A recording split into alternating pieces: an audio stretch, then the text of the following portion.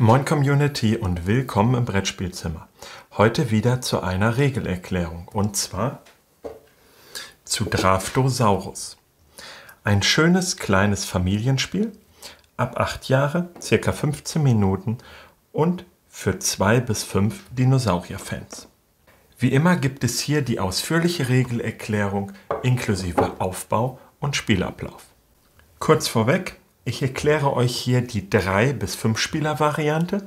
Die Regeln zu der 2 Spieler Variante findet ihr auf der Rückseite. Sie ist eigentlich fast genau gleich, nur mit ein paar kleinen Änderungen. Auch noch wichtig, hier erkläre ich euch ausschließlich die Sommerseite. Die Winterseite bietet noch mehr Herausforderung und verlangt noch mehr taktisches Geschick. Also spielt erstmal die Sommerseite und wenn ihr da geübt seid, dann schaut auf Seite 7 und lest euch diesen Abschnitt durch, dann seid ihr für die Winterseite gewappnet. Auch noch interessant, es gibt eine kleine neue Mini-Erweiterung, jeweils für die Winter- bzw. die Sommerseite. Die werde ich euch noch kurz am Videoende erklären. Verlieren wir keine Zeit und legen wir auch gleich los.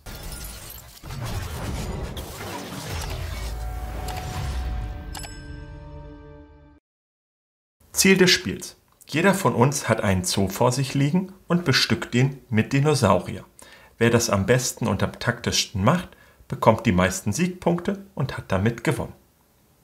Kommen wir jetzt zum Spielaufbau. Jeder von uns bekommt einen Zoo, platziert ihn auf die Sommerseite und wir legen den Würfel bereit. Zusätzlich packen wir noch die Dinosaurier in den Beutel. In der ersten Version gab es noch einen kleinen Beutel. Aber jetzt in der neuen Version bzw. beim Verlag gibt es den großen Beutel. Er ist fast doppelt so groß und bietet auf jeden Fall mehr Platz, auch für große Hände. Das war schon der Spielaufbau für fünf Spieler. Wenn ihr nur zu viert seid, entfernt ihr von jeder Spezies zwei Dinosaurier, so dass ihr nicht mehr 60 Dinosaurier habt, sondern 48. Wenn ihr zu dritt seid, entfernt ihr pro Spezies vier Dinosaurier. Dann sind nur noch 36 im Beutel. So, der jüngste Spieler bekommt den Würfel und ist damit Startspieler. Der Spielablauf. Eine Partie besteht aus zwei Spielphasen. Jede Spielphase besteht aus sechs Runden.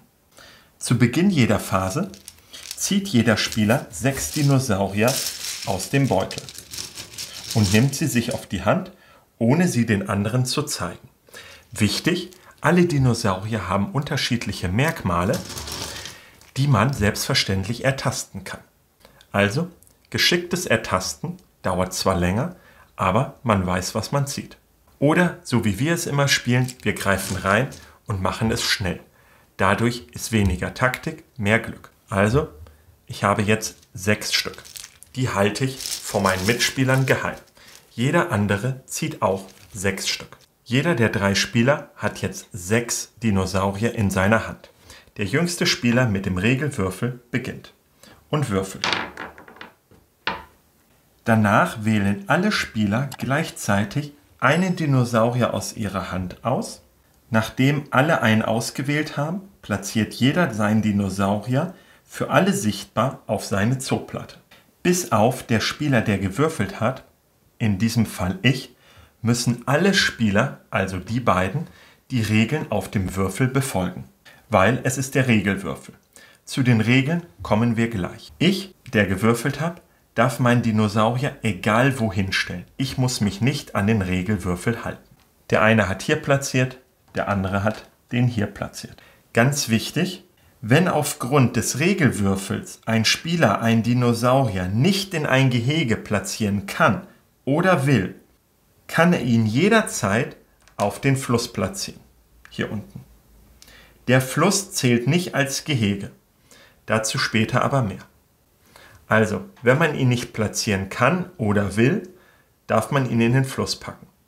Jetzt hat ja jeder nur noch fünf Dinosaurier auf der Hand und reicht seine fünf Dinosaurier verdeckt an ihn. Er gibt seine fünf an ihn und bekomme von diesem Spieler die 5. Verdeckt und muss sie auch verdeckt halten. Und ich gebe den Würfel an den nächsten Spieler weiter. Links rum. So, das Ganze machen wir jetzt insgesamt sechsmal, so dass anschließend jeder sechs Dinosaurier in seinem Gehege hat. So, jeder hat jetzt sechs Dinosaurier in seinem Zoo. Selbstverständlich wird nach jedem Setzen der Regelwürfel weitergegeben. So, jetzt beginnt Phase 2. Sie läuft genauso ab wie Phase 1. Und zwar, jeder von uns dreien greift wieder in den Beutel und holt sich sechs Dinosaurier raus. Wie immer versteckt. Dieser, dieser und dieser Spieler. Dann würfelt der erste Spieler wieder, darf platzieren, wo er will. Die anderen beiden Spieler müssen die Regel vom Regelwürfel benutzen. Das läuft dann auch wieder sechsmal, sodass wir insgesamt zwölf Dinosaurier jeder in unserem Zoo haben. So, jetzt endet das Spiel. Bevor wir aber zum Regelwürfel und zum Spielende kommen, erkläre ich euch die einzelnen Gehege. Gehege Nummer 1. In diesem Gehege dürfen nur die gleichen Dinosaurier platziert werden. Und zwar von links nach rechts. Hier ist auch das Gleichheitszeichen. Gehege Nummer 2 ist das hier. Hier müssen unterschiedliche Saurier platziert werden. Auch hier von links nach rechts.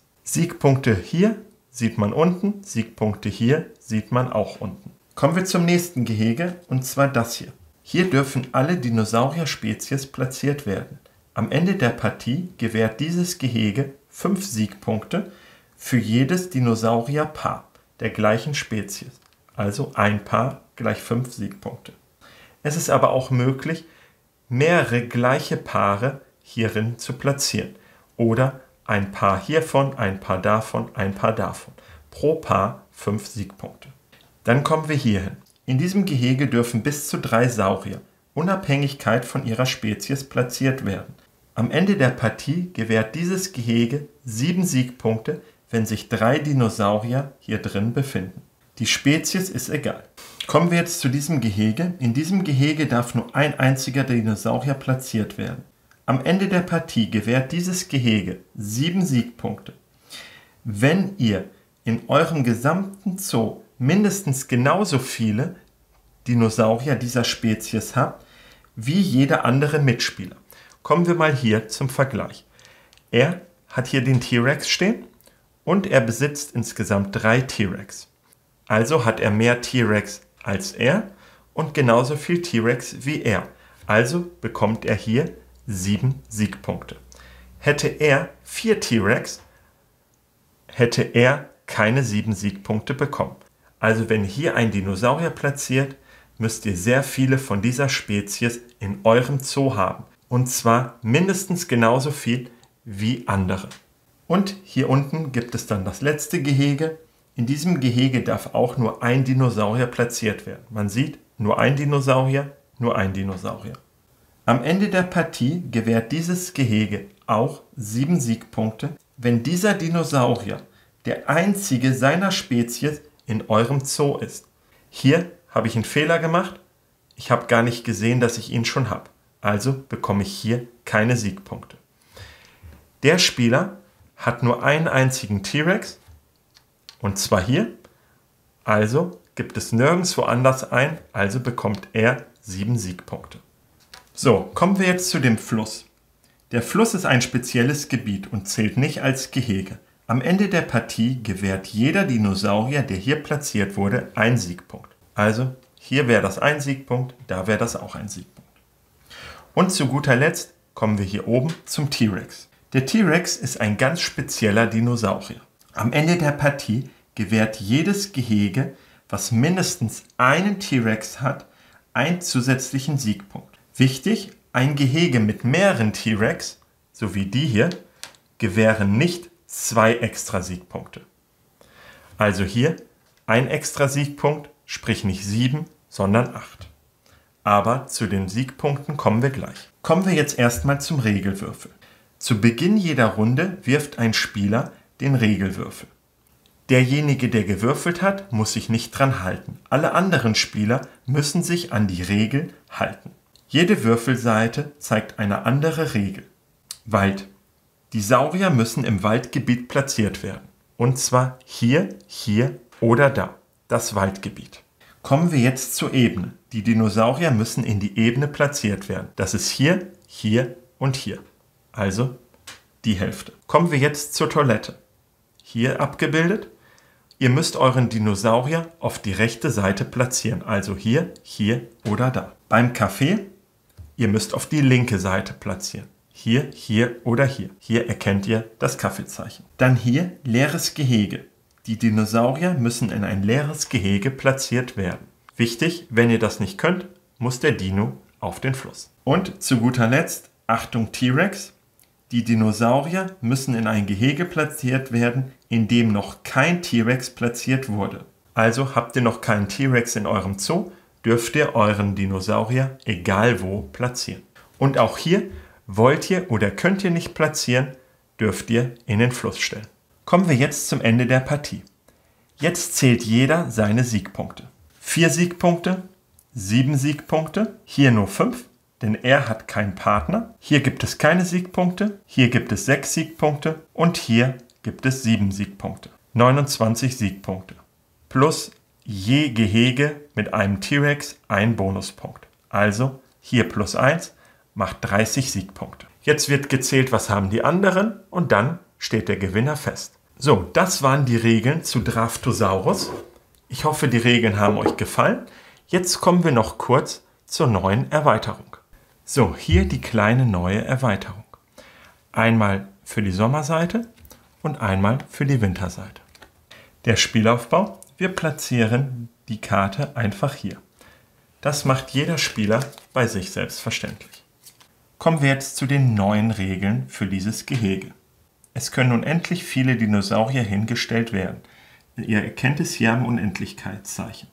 Jeder Dinosaurier muss wie auf diesem kleinen Bild auf den anderen gesetzt werden. Nur der erste Dinosaurier berührt den Boden. Er berührt den Boden. Der zweite Dinosaurier könnte zum Beispiel so platziert werden. Auf diese Weise bauen wir einen Dinoturm, der je höher, desto wackeliger wird. Wenn der Dinosaurierturm umstürzt, müssen die heruntergefallenen Dinosaurier in den Fluss gelegt werden. Oha!